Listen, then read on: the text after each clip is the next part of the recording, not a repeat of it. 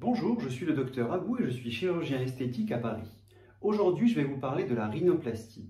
La rhinoplastie est une intervention de chirurgie esthétique qui permet d'embellir votre nez et d'améliorer votre respiration.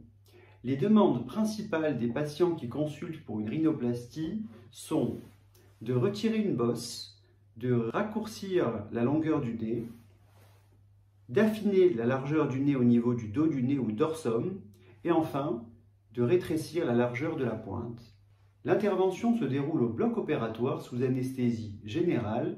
Elle dure entre 1 heure et 2 heures en fonction des gestes chirurgicaux à réaliser. Après cette intervention, vous porterez un plâtre pendant une durée d'une semaine.